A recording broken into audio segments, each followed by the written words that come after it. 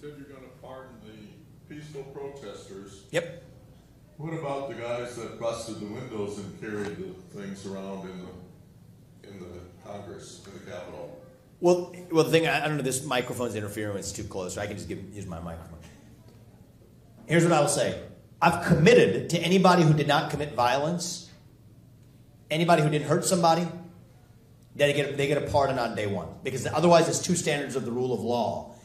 Now, for the other cases, we got to look at constitutional violations. I mean, the truth is, there's a rule called the Brady Rule. I don't know if you're familiar with that from constitutional law. If you're a defendant, you're entitled to exculpatory evidence. What does that mean?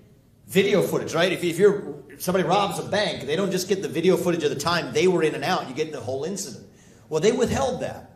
So I'm not the president yet. I don't have all the facts. Even with the facts I have, I will say anybody who didn't commit an act of violence that day gets a pardon on day one. Most presidents wait till the last day they're in office to do the pardons and then just sort of sign them off and they don't want accountability. No, I'm going to get hit hard for this. I don't care. I'll take it. That's what we that's what we want. Part of the point is sending a signal to this country. So on January 20th, 2025, anybody on that list, and by the way, Julian Assange to Donald Trump to Douglas Mackey to a whole bunch of others. Owen Shroyer, Owen Shroyer was from January 6th, is going to get a pardon on that day one too.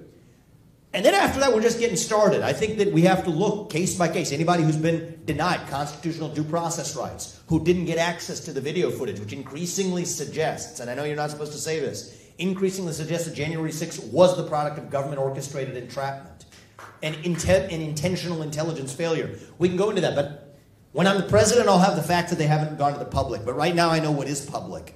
And based on that, on January 20th, 2025, anybody who was a peaceful protester that day who didn't commit a violent act will get a pardon, as will, I will tell you, anybody who we discover underwent a constitutional violation of due process. Because that's just what it means to stand for the rule of law, swear an oath to the Constitution, and keep it in this country. That's what I would say.